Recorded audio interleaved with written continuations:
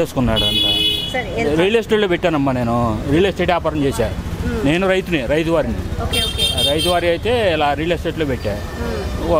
పెద్దపూడి అని పెదరా ఊరు చిన్నరా ఊరు ఉంటుంది ఆడ పెడితే నెత్తి నెత్తిని కొట్టేసుకొని వ్యాపారం పెట్టా. ఒక ఐదేళ్ళు వ్యాపారం పెట్టా. బేకరీ వ్యాపారం పెట్టా. మొత్తం లాస్ వచ్చేసి ఒక లక్ష ఐదు ఆరు లక్షలు బాగొట్టా వ్యాపారంలో. ఈ ఐదేళ్ళు రేపు ఇల్లు తాకడ పెడుతున్నాను. తాకడ పెడితే అయిపోయింది మా పని. అది. ఇప్పుడు నలభై ఏళ్ళు యాభై ఏళ్ళు వచ్చినాయి. కాళ్ళు నొప్పులు ఏళ్ళు నొప్పులు వచ్చేసినాయి. పని చేసి పని చేసి. ఇది బతుకు. అబ్బో ఏమన్నా ఎందుకండి అనకూడదు. అంటే లోపలేస్తున్నారు తీసుకెళ్ళి. జగన్ అంటే కోసేస్తామంటే మమ్మల్ని లోపలేస్తున్నారు తీసుకెళ్ళి. ఎందుకు? మీ ఒక రత్నం రాదమ్మా ఒక ఇగో ఈ బండికి ఇన్కమ్ ట్యాక్స్ కట్టలా. ట్యాక్స్ కట్టలేదు దీన్ని. ఏదో ఫైనాన్స్ ఇది కట్టాలి కదా. కట్టలా డబ్బులు లేక కట్టలా. అది ఇంకేం చెబుతాము? సొంత ఇల్లు ఉందమ్మా ఉందమ్మా. అసలు ఏం రావమ్మా. ఏం ఒక పథకం రాదు. మొన్న ఇంటి పని కట్టమన్నాడు. ఇంటి పని కడితే కొద్దిగా లేట్ అవుద్దమ్మా అని చెబితే వాడు వాలంటీర్ వచ్చి గసురుకున్నాడు. వాలంటీర్ వచ్చి గసురుకుంటే కట్టేశాను అప్పు చప్పు చేసి కట్టేశాను. ఏం చేస్తాం మరి? ఇప్పుడు ఇక్కడ ఏపీలో చూసుకున్న రాజధాని ఇప్పటివరకు ఏపీకి రాజధాని లేదు. ఈ రాజధాని విషయంలో మీ ఒపీనియన్ ఏంటి? రాజధాని సెంటు ఏడు వచ్చి సెంటు ఏడు ఏడు లక్షలు పలికింది. నలభై ఎనిమిది గజాలు వచ్చి ఏడు లక్షలు పలికింది. ఇప్పుడు రెండున్నర లక్షలు అడుగుతున్నారు అది అది అది పరిస్థితి. బేరం పెట్టే ఇల్లు అమ్ముదామని. మద్యం నిషేధిస్తామన్నారు ఎలా మద్యం పని అయిపోయిందిలే మాకు. మా ఊరు వచ్చి ఆరు బెల్ట్ షాపులు ఉన్నాయి చిన్న ఊరే? రెండు వందలు గడప కొత్తూరు తాడపిల్లమ్మ కొత్త తాడి కొత్తూరు తాడపిల్లి ఆరు బెల్ట్ షాపులు ఉన్నాయి ఆరుగురు అమ్ముతున్నారు ఇళ్ళలో పెట్టుకొని. చాలు. బెల్ట్ షాపులు ఎక్కువైపోయింది? ఏం లేవమ్మా మాకు చదువు రాదు. ఏదో ఉడత పట్టిగా పొలం అమ్ముకున్నాం. ఏదో చిన్న వ్యాపారం చేసుకుందాం అనుకున్నాం. మొత్తం పోయింది. ఏమీ లేదు. ముందు అసలు ఎలా అనుకున్నారు? అధికారంలోకి అంటే అప్పుడు కొత్త ఎలా చేస్తారనుకున్నారు ఇప్పుడు ఎలా చేస్తారు? ఏమో చేస్తాడు బాగా చేస్తాడు అనుకున్నారు. జనాలు జనాలు బాగా చేస్తారు అనుకున్నారు అందరూ. ఏం ఇలా చేశాడు అంతే ఏం లేదు. ఎమ్మెల్యేలు వస్తున్నారా సార్ ఇంటింటికి? అసలు రావట్లేదమ్మా. గడప గడపకి అలా కానీ రావట్లేదు. మొన్న ఎమ్మెల్యే వచ్చాడు. ఈ వాన పడింది కదా. ఒడ్డు మా దాడవ వేశారు. రెండో పంట వేశారు. మొన్న పంట పంట పండగే డబ్బులు రాలా.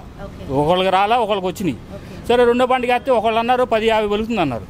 లేదమ్మా పదిహేను వందలు కావాలన్నారు. సరే ఆయన వెళ్ళిపోయాడు. ఎమ్మెల్యే గారు దేవినేడు ఉమ్మ గారు వచ్చారు. వచ్చేసి సరే పదిహేను వందలు అన్నారు. మళ్ళీ ఆయన వెళ్ళిపోగానే ఈడొచ్చాడు ఒకడంటాడు పదకొండు వందలకి ఇవ్వచ్చుగా అంటాడు ఒకడు అంటాడు ఆయన ముందు పదిహేను వందలు అంటాడు. ఒకడం ఒకడు పది యాభైకి ఇవ్వచ్చుగా ఈ వానికి ఎంత కొట్టొత్తిగా డబ్బులు అంటున్నాడు. అది జరిగింది. ఇప్పుడు వరకు కొయ్యలేదు కొంతమంది. కొంతమంది కోసారు. అది కొత్త తడబిల్కి వెళ్తే మీరు తెలిసింది. నిన్న వచ్చారు నిన్న నిన్న మొన్న వచ్చారు ఉమ్మగారు వచ్చారు. పేపర్లో కూడా పెట్టినది జ్యోతి పేపర్ అది జరిగింది. స్టోరీ నెక్స్ట్ ఎలా ఆ, ఉండబోతుంది అంటారు? వైసీపీ ఏమోనమ్మా తెలియదమ్మా మాకు ఏమో ఇంత ఐడియా తెలియట్లేదు. ఎంత మాకు అంత రాళ్ళ మైండ్ ఏమన్నా ఇద్దరు కలిస్తే ఉన్నా ఇద్దరు కలిస్తే ఉన్నా ఓడిపోతారు. ఓకే జనసేనను వీళ్ళు కలిస్తే ఉన్న ఓడిపోతారు. టీడీపీ జనసేన కలవాలి. పొత్తులో పొత్తులో ఉంటేనే బెటర్ అంటాం. ఓకే పొత్తులో ఉంటేనే బెటర్ మర్చిపోయి కరెంట్ బిల్ వచ్చింది. ఎన్ని రోజులు కనుకున్నా కరెంట్ బిల్ వచ్చింది? మాకు ఐదు మహా ఐదు మూడు వందలు వచ్చేది నెల రోజులకి. ఇప్పుడు నేను ఊరు వెళ్ళాను. ఒక పదిహేను రోజులు లేను. అప్పులు పాలేవి కొంత పరిగె పరిగెత్తాలి కొన్నాళ్ళు. పదిహేను రోజులకి నాలుగు వందలు వచ్చింది. అంటే పదిహేను రోజులకి నాలుగు వందలు వచ్చింది. పదిహేను రోజులు లేని ఇంట్లో నేను మొన్న. అప్పుడు అంటే ఎంత వచ్చినట్టు? నిన్న వచ్చాడు కరెంటు బిల్లు నిన్న వాళ్ళు వచ్చాడు. మూడో తారీఖు వాళ్ళ నిన్న వచ్చాడు అనుకుంటా. అది నాలుగు వందలు వచ్చింది నాలుగు నాలుగు ఎనిమిది వందలు రావాలి. అది పొద్దున అడిగాను కరెంటు బిల్లు అడిగా. ఏంటంటే మరి? పదిహేను రోజులకి నాలుగు వందలు వచ్చింది. మరి ఇంకో పదిహేను రోజులు అంటే ఎనిమిది వందలు వచ్చేది కదన్న మూడు వందలు వచ్చేది ఏంటి? ఎనిమిది వందలు ఎనిమిది వందలు వచ్చేది? మాకు తెలియదు అన్నాడు. కరెంట్ బిల్లు కూడా పొద్దున్న చెవులు పెట్టుకొచ్చా. పొద్దున్న తెచ్చానమ్మా. ఓకే. బిజినెస్ ఆ బిజినెస్ అదే వ్యాపారం. ఎలా ఉన్నాయి వ్యాపారాలు? ఏదో యావరేజ్ ఇక్కడ ఏపీలోనేనా మీది అసలు? నేటివ్ ప్లేస్ ఇక్కడ. ఓకే. ఎలా ఉంది జగన్ గారి రూలింగ్ మీకు ఎలా అనిపిస్తుంది పరిపాలన? ఎలాగుంటుందండి? ఒక పక్క బాధ కూడా ఒక బాధ ఉండదు.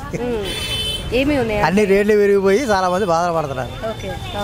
ఆ, అవి ప్రతిదీ రేట్లు పెరిగిపోయి చాలా మంది బాధలు పడుతున్నారు ఆ. ఇంకా రోడ్లు కానీ ఆ అభివృద్ధి కానీ జగన్ గారి పరిపాలనలో మొత్తానికి ఏమనిపిస్తుంది అంటే ఇప్పుడు ఆల్మోస్ట్ ఇంకో ఎలక్షన్స్ కూడా వచ్చేస్తున్నాయి వన్ ఇయరే ఉంది. ఓవరాల్గా చూసుకుంటే ఆయన చేసిన కార్యక్రమాలు రాజకీయాల గురించి మాకు తెలియదండి పథకాలు వస్తున్నాయా? ఏమీ రావట్లేదు. రాజకీయం గురించి ఐడియా లేదు కానీ. చూస్తూ ఉంటాం కదా. ఇక ఇళ్ళగానే ఉంటాము మేము బయటకు వస్తాం పనికి వస్తాం పైకి వెళ్ళిపోతాం. ఇక ఆ మధ్యలో మనకి అయితే తెలియదు పొద్దున వస్తే నైట్ రెండుకి వెళ్తాం. మాకు తెలియదు. మద్యం నిషేధిస్తామన్నారు. జరుగుతుందా ఎక్కడ జరుగుతుందండి? ఎక్కువ పెరిగిపోతుంటే అక్కడ. ఉమ్, మధ్య అక్కడ నిషేధించారు? రేట్లు పెంచారు బాగా తాగుతున్నారు జనాలు. పుల్లుగా తాగుతున్నారు ఇష్టం ఏం తాగదు రాజధాని విషయంలో మీ ఒపీనియన్ ఏంటి? ఇక రాజకీయానికి తెలియదు రాజధాని రాజధాని. నాకు తెలియదు అసలు ఐడియా లేదు. సో మామూలుగా ఇప్పుడు ఎమ్మెల్యేలు గడప గడప అని కార్యక్రమం పెట్టారు. వస్తున్నారా? ఇంటికి వస్తున్నారా? ఇంక మా ఏరియాకి రాలేదు. రాలేదు. సాధ్యనగర్ ఆ, పేజ అటు సిగ్నర్ ప్రకాష్ నగర్ ఓకే. ఎవరు రాలేదు? ఎవరు రాలి ప్రస్తుతానికి. ఓకే. ఏదైనా ప్రాబ్లమ్స్ ఉన్నా కానీ వచ్చి పెద్దగా పట్టించుకోవట్లే పట్టించుకోవట్లేదు. ఏది ఇల్లు ఇస్తా అంటున్నారు డబ్బు కట్టిన వాళ్ళకి ఇస్తున్నారు అది లేదు ఇల్లు. మీకుందా? ఓన్ హౌస్ ఉందా? లేదు. ఇవ్వలేదా? ఇవ్వాలి. అడిగితే ఏమన్నారు? డబ్బు కట్టాలంట. ముందు ఇరవై ముప్పై వేలు నలభై వేలు కట్టాలి. మళ్ళీ అడిగి లోన్ మళ్ళీ అప్పాయి. క్యాష్ ఊరికే ఇచ్చినాయి కాదు ఇల్లు. అప్పు కిందే. మళ్ళీ లోన్ ఇస్తే లోన్ కింద కట్టాలి మళ్ళీ. మళ్ళీ ముప్పై వేలు యాభై వేలు కట్టాలి ఇంటికి. అంతే. కడితే స్థలం చూపిస్తారా? స్థలం చూపిస్తారు. స్థలం చూపించి కట్టినాక మళ్ళీ మనకి అప్పు కింద ఇస్తారు. అంతే అంతకనే లేదు. మనం కట్టుకుంటే లోన్ కింద ఇస్తారు. మన మనకి డబ్బులు ఇవ్వకపోతే వాళ్ళు కట్టిస్తారు నెల కింద కట్టాలి. అంతకు ముందు ఏం చెప్పారు? అంటే జనరల్గా ఇల్లు ఇస్తాము ఇల్లు లేని వారికి అన్నారు ఇవన్నీ వచ్చాయా ఇవన్నీ వచ్చాయి? పథకాలు. ఇల్లు లేనికి ఇల్లు ఇస్తారు ఇప్పుడు డబ్బులు ఇప్పుడు డబ్బులు డబ్బులు కట్టించుకుంటారు డబ్బులు కట్టించుకుంటారు లోన్ల కింద ఇస్తున్నారు అలాగా. ఊరికి ఏదో ఎవరు ఇవ్వట్లే ఇల్లు లేరు లేదు ఉన్నోళ్ళు కట్టుకుంటారు డబ్బులు ఇస్తున్నారు లేరు లేదు. అది. ఇక్కడ ఉద్యోగ అవకాశాలు ఎలా ఉన్నాయంటారు ఏపీలో? మిగతా వాటితో కంపేర్ ఉద్యోగాలు తెలియదు మాకు. మేము చదువుకోలేదు కాబట్టి. పిల్లలకి చదువుకున్న వాళ్ళకి కానీ ఐడియా లేదు. నెక్స్ట్ వైసీపీకి ఎలా ఉండబోతుంది చెప్పలేమండి. ఎలా ఉంటుందో తెలియదు. జనాలు ఇష్టం అది. జనాల జనాల మీద ఉంటుంది ఇంకా.